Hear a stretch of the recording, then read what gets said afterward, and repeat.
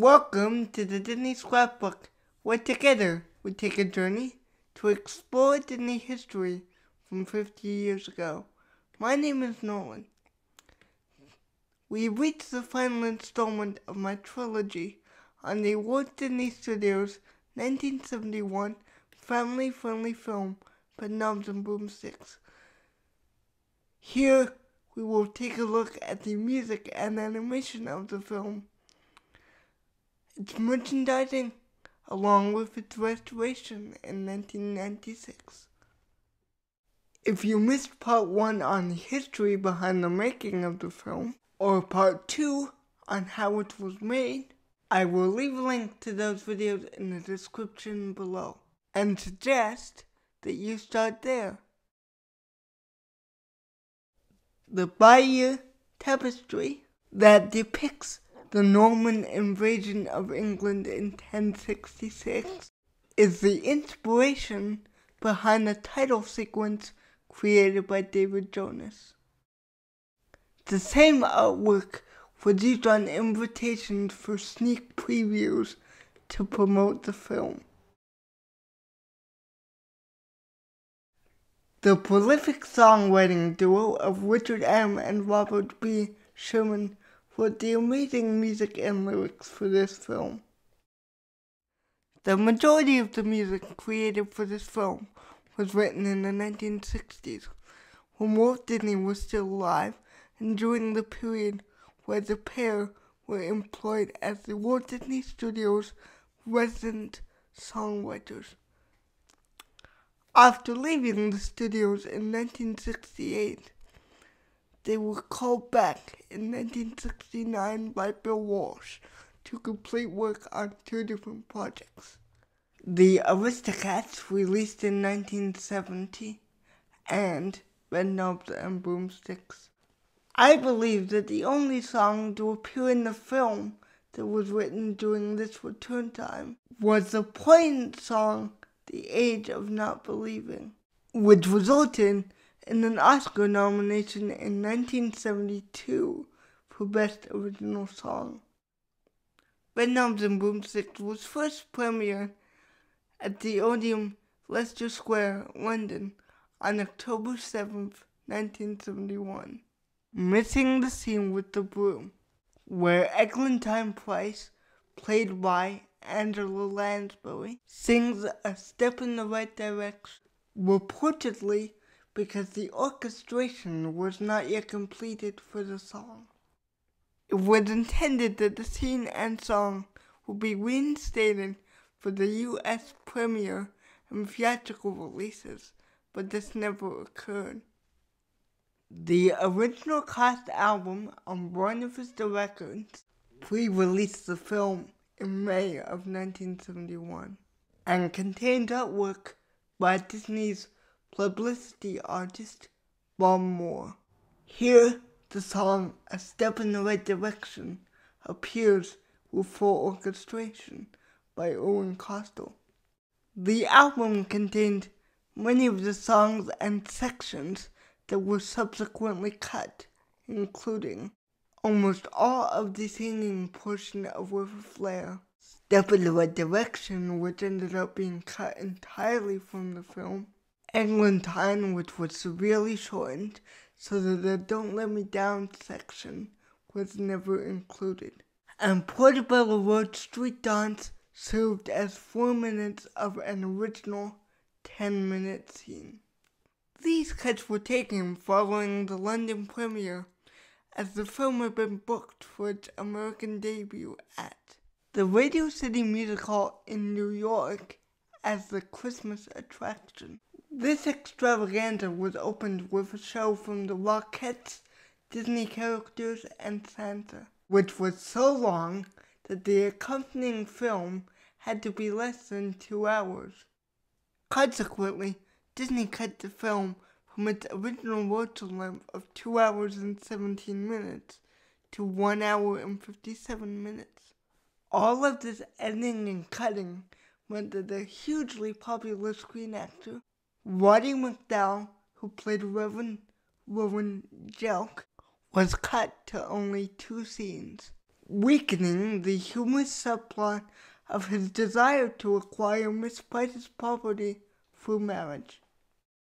The LP containing the original cast soundtrack from the film comes in a gatefold picture sleeve with photos from the film. The music was conducted and arranged by Irwin Kostal, who in 1972, along with the Sherman Brothers, received an Oscar nomination for Best Scoring Adaptation. Along with Walter Scharf for Willy Wonka and the Chocolate Factory, however, they all lost out to John Williams' adaptation of Fiddler on the Roof. A second LP containing songs from Bedknobs and Broomsticks was released in July of 1971. However, the songs were sung by Mike Sammes and his backing vocal group, the Mike Sammes Singers, all except for Substitutionary Locomotion, which is uncredited but believed to be Judy Kahn. Greg Ehrbar, in his book Mousetracks, suggests that this may be an audition take or a test recording. Whatever.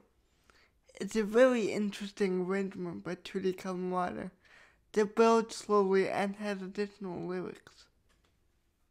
The same version appears on an extended play record printed in Canada, along with The Age of Not Believing, Eglantine, and Portobello Road. A Storyteller LP was released in August of that year using the same Mike Sammes Singers recordings. It was narrated in first person by Dallas McKennon from the perspective of Emelius Brown. Dallas McKennon was the voice actor of the Fisherman Bear in the animated sequence on the Isle of Naboombu who is none too pleased when his catch proves to be a middle bedstead with five people aboard. And he quips, No peopling allowed by order of the king. This section of the film excels in the way it seamlessly integrates live action and animation. Directed by Ward Kimball, the interaction between the live characters and the cartoon figures is impressive. The animation team, containing most of Ward's nine men, used the Xerox method that Ub Iwerks perfected for 101 Dalmatians. Robert John Holthorse, better known as Bob Holt, voiced Mr. Goldfish, and Lenny Weinrib voiced King Leonidas and Secretary Bird, two very different characters.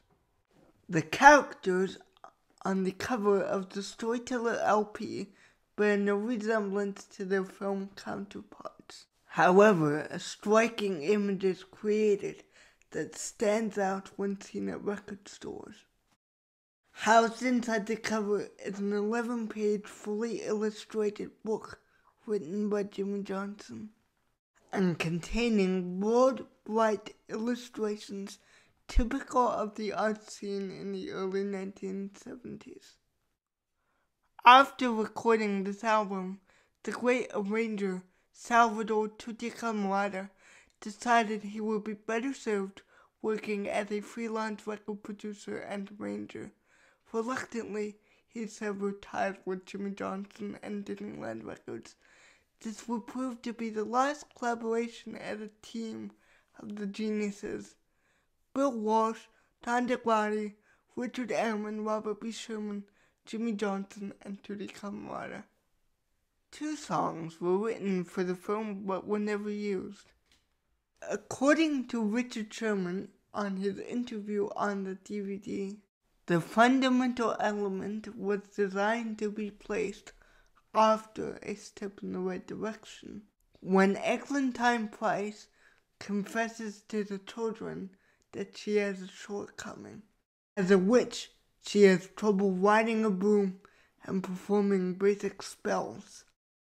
Solid Citizen was intended to be used on the Isle of Naboombu to follow the story thread that Eglantine Price was there to acquire the Star of Astaroth. Instead, it was replaced by an animated soccer match.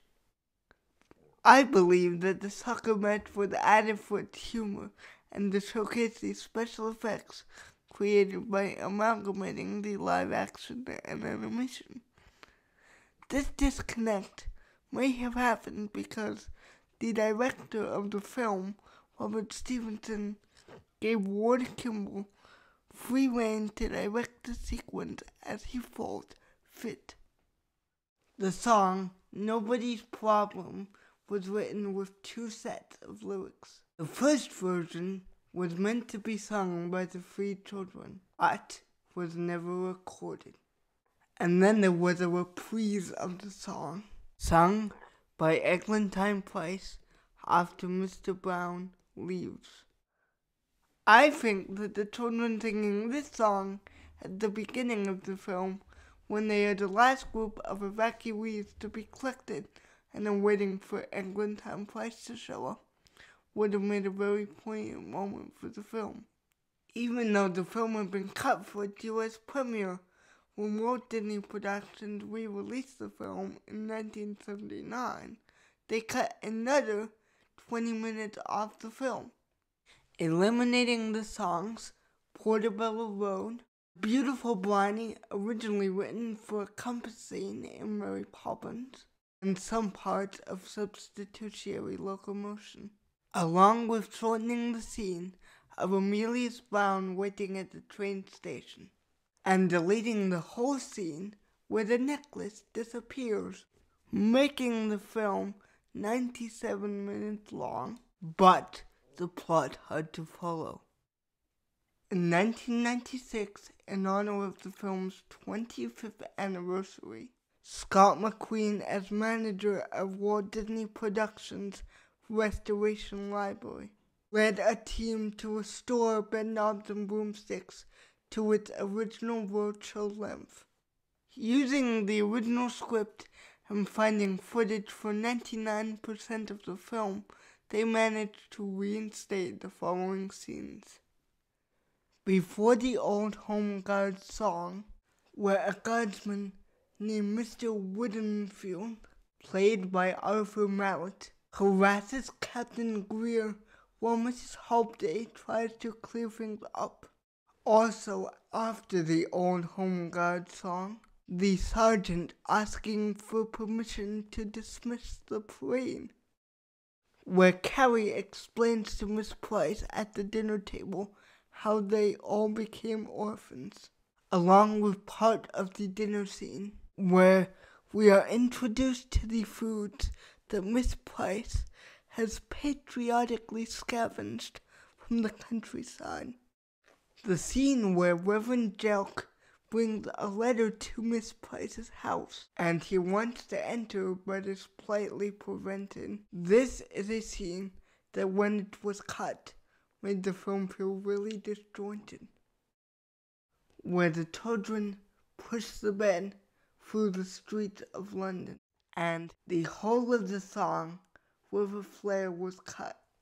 Milt Larsen the creator of the Magic Castle, a private club for magicians, and a friend of Richard Sherman, taught David Tomlinson the magic tricks and was rewarded with an uncredited cameo. At Mr. Brown's townhouse, Miss Price explains what substitutionary locomotion is. In The cut version, the second nursery scene, where Paul discovers the book Isle of Naboombu, gets moved to after the song Eglantine, which is shortened. In the restored version of the film, the song Portobello Road is reinstated to its entire length of 10 minutes, including the dance sequence, which depicted all of the armed forces from the various countries in the British Empire that fought in World War II by demonstrating some national dance steps, such as this section which demonstrates Bharatanatyam dance from India. Also reinstated was the scene where Mr. Brown tells Swinburne that the bed once belonged to royalty, and the kids push it through the door. And Mr. Brown refuses the bookman's offer to swap sections from the book. The scene taken in Mrs. Hobday's store, where she tells Mr. Brown that he should marry Eglantine Price. And the conversation is overheard by Reverend Jelk. After Mr. Brown leaves the house, the song Nobody's Problem is reinstated. However, no orchestral track existed, so the studio recorded a new one. Unfortunately, the film footage for the song A Step in the Right Direction, which Eglantine Price sings while learning how to ride a broom, was never found. However, the team did find the stereo audio track and made a valiant effort to use this along with still photos taken of the actions to piece together the scene. This footage can be viewed on the bonus features of the DVD. This is really just a version of editing. The original editing was performed by Irvine Cotton Eugene Warburton a Disney veteran who began working for Walt Disney Studios in 1955 and won an Academy Award for his editing on Mary Poppins. I wonder how the film would have been edited if Walt had still been alive. Being released as a Christmas film for 1971, Disney created many pieces of merchandise to go with the film, including books, puzzles, paper doll sets, lunch boxes, Viewmaster reels, and of course, Horsman's self-propelled action bed, which moved in every direction and included a doll replica of Angela Lansbury as Miss Price. I enjoyed the plot and music of this film.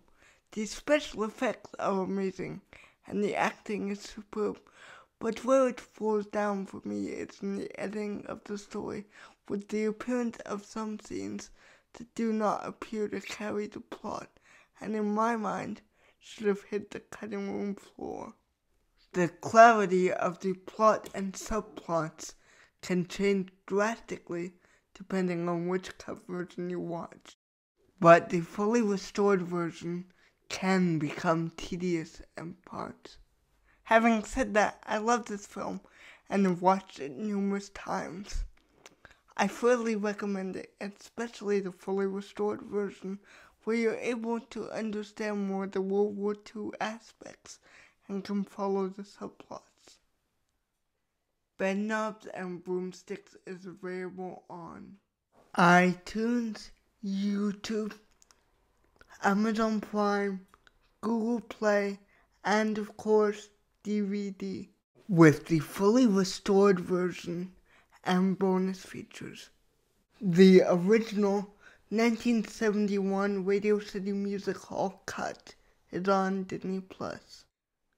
Thank you so much for watching the final part of my deep dive trilogy into Disney's film Bedknobs and Broomsticks.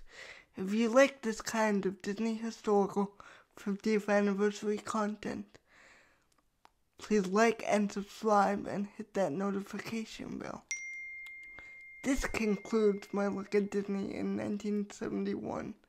I look forward to seeing you next time as I explore Disney in 1972. TTFN, ta-da for now.